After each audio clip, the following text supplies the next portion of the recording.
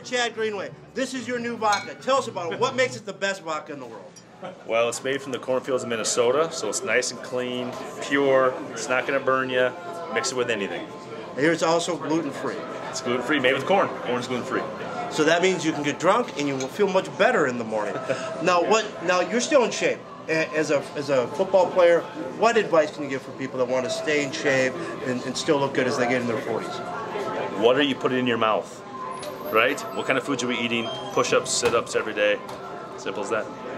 Basic workout, stay healthy, drink this vodka. It'll get you ripped like Chad Greenway. right. Thank you. You're watching Tim's TV, and we're at Jimmy Z's, the best bar in Iowa. Thank you, Chad. You play for the best team in the history of the NFL, the Minnesota Vikings. Oh. Hi, Jimmy. You have a drink, Tim. Why do you shot? Well, I want a shot. You're on Timmy TV. Come here. Come here. I'll shoot you. Yeah, I'll give you a shot. Let's go. Relatively tame. I was expecting more from you. Well, I'm a nice lady. Classy. Well, at least you care enough He's to married, lie. so. She says I'm a nice lady. He's married, she says. What are you, like 21? I'm a nice lady. I'm 26. That's something like a 50 year old would say. like I'm a nice 30s. lady. Because then people are like, you're 36, and she's going to be like, I'm a oh. fan of football though, so. Blah blah. Do this, do that, all this stuff. Long story short, then I start telling them about this bar and about how you're coming, and she starts laughing. She just laughing. It's like, what did I say? What did I do? The last name? Oh, no, Don't ask me. I don't handle that part. Samples over there. I'm may be free.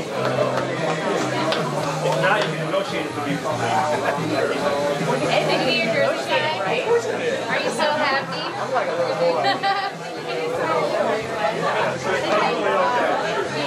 This is a vodka that finishes clean and smooth and is also uh, gluten free. So lots of great options for people. Um, but yeah, we have some quick samples together and we'll have some cocktails later today. So super exciting day.